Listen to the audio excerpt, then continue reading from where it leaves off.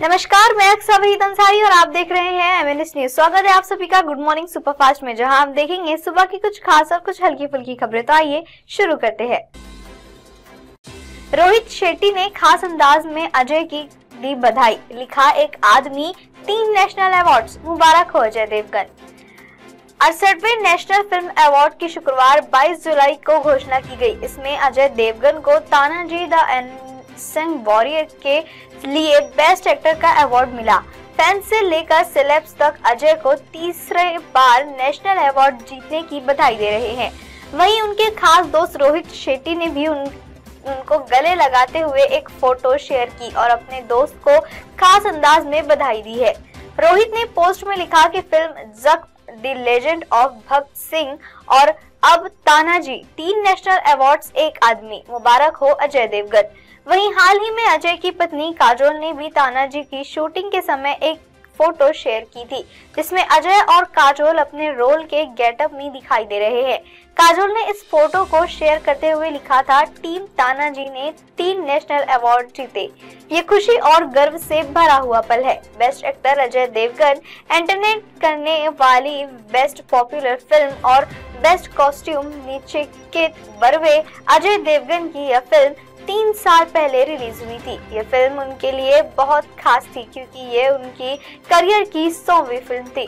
Film में अजय ने बहादुर, सूबेदार तानाजी मालूसरे का किरदार निभाया था, जो मराठा साम्राज्य को फिर से हासिल करने के लिए क्रूर मुगल सरदार उदय भान सिंह राठौर, सैफ अली खान के खिलाफ खड़ा होता है। बता दें, इस फ़िल्म ने 250 करोड़ से ज़्यादा की कमाई की थी।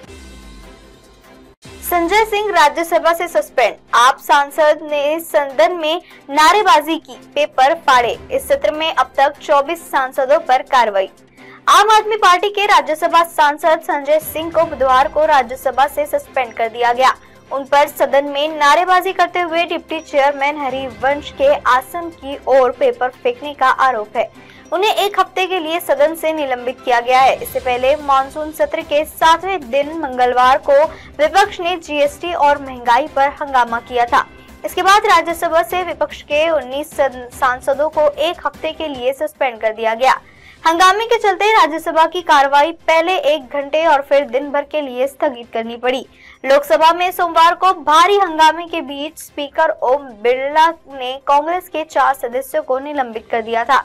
ज्योतिमणि मानिकम टैगोर टी एन प्रथापन और रामस्या हरिदास को पूरे सत्र के लिए निलंबित किया गया है। दरअसल लोकसभा में विपक्ष ने महँगाई और जीएसटी पर जमकर हंगामा किया।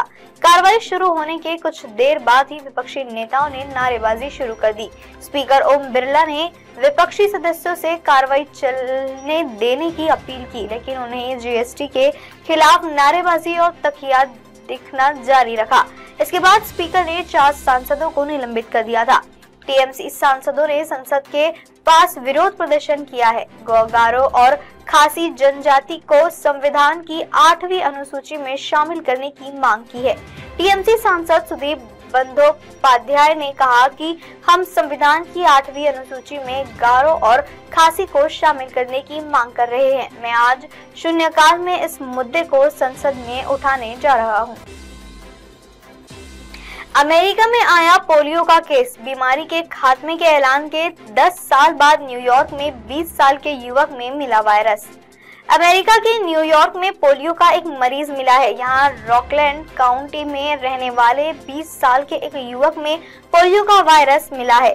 स्थानीय स्वास्थ्य अधिकारियों ने उसकी जाँच के बाद गुरुवार को इसकी जानकारी दी है। दरअसल 10 साल पहले अमेरिका को पोलियो मुक्त घोषित किया गया था।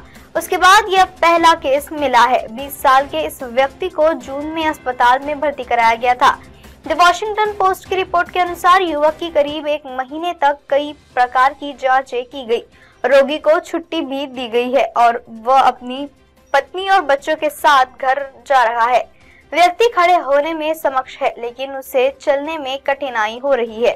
दी वॉशिंगटन पोस्ट के अनुसार एक स्वास्थ्य अधिकारी ने इसकी जानकारी देते बताया कि पोलियो एक वायरल बीमारी है, जो तंत्रिका तंत्र को प्रभावित कर सकती है, जिससे मांसपेशियों में कमज़ोरी हो सकती है और कुछ मामलों में मौत भी हो सकती है। स्वास्थ्य विभाग द्वारा जारी प्रेस विज्ञापन में कहा गया कि पचहत्तर प्रतिशत लोगों में पोलियो का कोई लक्षण नहीं है, फिर भी वे वायरल फैला सकते हैं। काउंटी स्वास्थ्य आयुक्त डॉक्टर पोट्रेसिया स्ट्रॉलबेन ने कहा कि हम स्थिति की बारीकी से निगरानी कर रहे हैं। हम न्यूयॉर्क राज्य स्वास्थ्य विभाग, रोग नियंत्रण और रोकथाम केंद्रों के साथ मिलकर काम कर रहे हैं। आज की सुपरफास्ट खबरों को यही विराम देते हैं। कल फिर मिलेंगे इसी जगह, इसी समय। तब तक के लिए देखते रहिए M N S news live क्योंकि सच ज़रूरी है। नमस्कार।